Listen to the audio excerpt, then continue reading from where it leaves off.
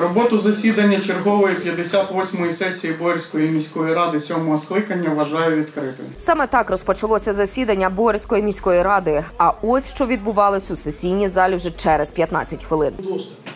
Слухайте, що ви мені роз... роз- що ви мені розказуєте? Вам Я щось постійно розказали, швидше за все, не те, що Вам- треба. вам, якщо- Казначейські рахунки. На сесію завітали учасники бойових дій. Серед них був і Віктор. З 2014 року він брав участь в антитерористичній операції. Розповідає, що вже більше року просять міського голову Олександра Зарубіна виділити земельну ділянку під будівництво соціального житла для ветеранів бойових дій, малозабезпечених сімей, людей з інвалідністю, педагогів і медиків.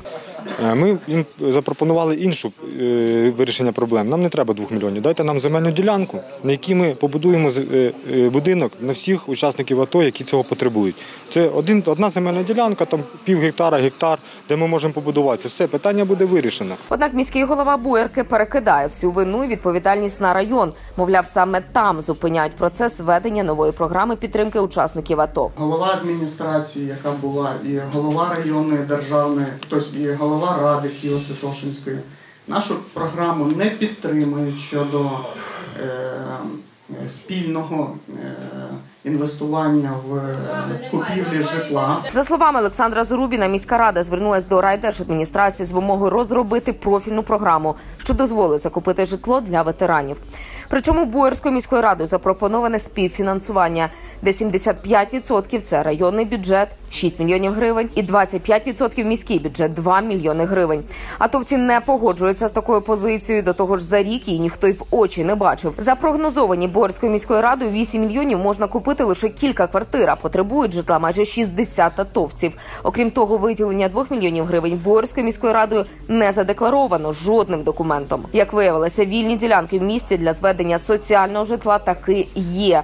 Та щасливим власником ласого шматка землі в самісінькому центрі Боярки став кум Олександра Зарубіна, однопартієць і бізнес-партнер Вадим Алімов. Це неабияк обурило військових, тому вони з небайдужими громадянами облаштували наметове містечко і проводили акції протесту впродовж року, аби звернути увагу влади до їхніх проблем. От уже рівно рік, з 24 липня 2018 року, стоїть наметове містечко.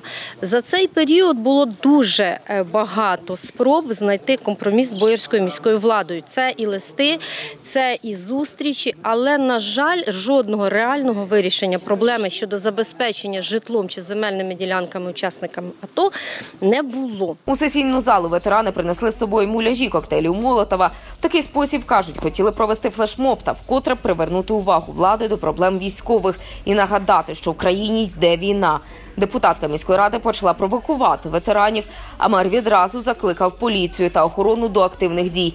У результаті в залі щинилась бійка. Правоохоронці, будь ласка, керосин в руках, запальничкою теж. Я тебе в шаху.